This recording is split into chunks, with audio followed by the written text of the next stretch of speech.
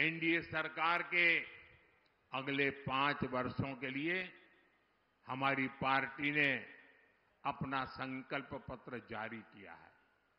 ये संकल्प पत्र मोदी का गारंटी कार्ड है। अगले पाँच वर्षों के लिए मोदी की गारंटी है। कि हम देश में गरीबों के लिए तीन करोड़ नए घर बनाएँगे। अगले पाँच वर्ष के लिए अब हम देखते हैं कि आजकल हर परिवार में बुज़ुर्ग माता पिता दादा दादी चाचा चाची नाना नानी हर परिवार में होते ही है क्योंकि अब आयु, आयु लंबी हो रही है। और जो बेटा कमाता है या बेटी कमाती है, उसके लिए अपने बुज़ुर्ग माँ बाप को संभालना कोई मुश्किल काम नहीं होता है, कर लेते हैं।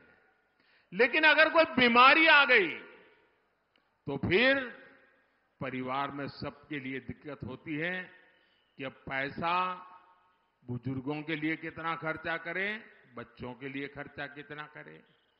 एक प्रकार से उसके सारे सपने भूल जाते हैं। और इसलिए मोदी ने तय किया कि मेरे सभी परिवार के जो लोग रोजी रोटी कमाने के लिए मेहनत करते हैं, उनका बोझ मैं कैसे कम करूँ?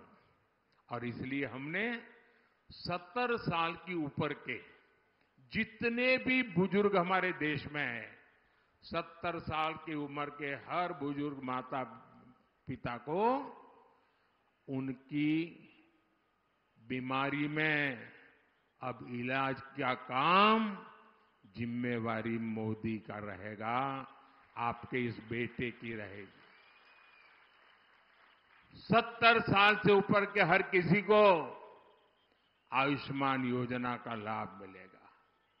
हम मुद्रा योजना के तहत अब युवाओं को 20 लाख रुपए तक की मदद देंगे। एनडीए सरकार अगले पाँच वर्षों में तीन करोड़ महिलाओं को लखपति दीदी बनाने के लिए काम करेगी।